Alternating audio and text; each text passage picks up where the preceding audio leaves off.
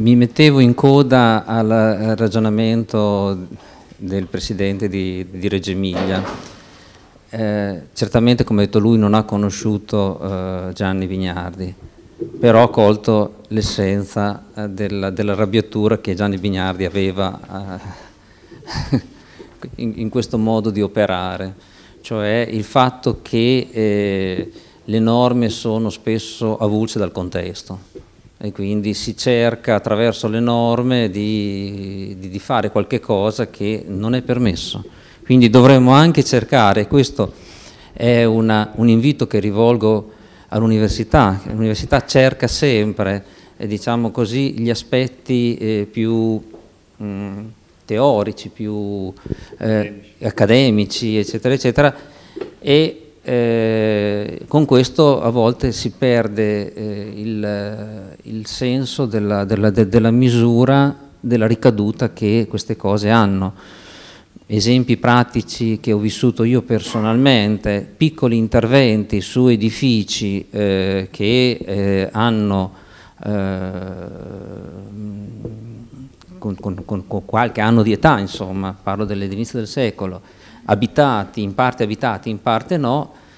questi interventi er, sono classificati per la legge 19 come interventi sostanziali e inducono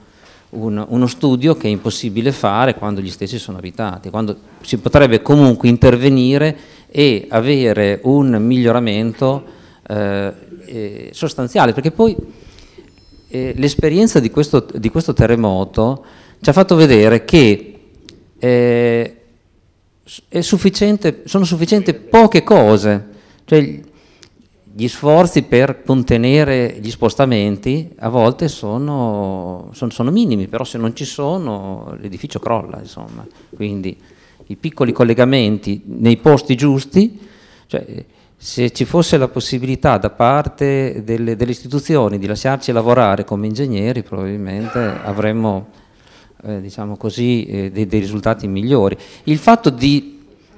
eh, non, di, di, di, essere così un po' critici nei confronti delle, delle, delle norme non è che noi non vogliamo rispettarle, eh, guardate bene, noi vogliamo rispettare le norme,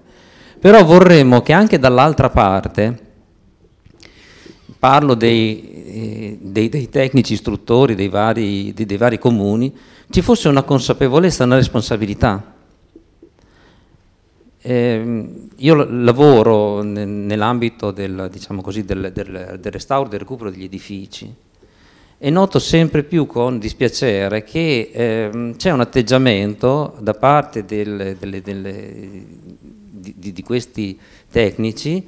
un po' supponente, nel senso che non si rendono conto che chiedere delle integrazioni per delle cose che non hanno significato porta a ritardi nell'intervento di alcuni mesi che fanno slittare di altri mesi l'inizio dei lavori e creano ulteriori disagi nei confronti delle nostre popolazioni, perché il nostro obiettivo è quello di fare un servizio alle popolazioni. E noi siamo, noi siamo dei professionisti, guardi il sindaco perché...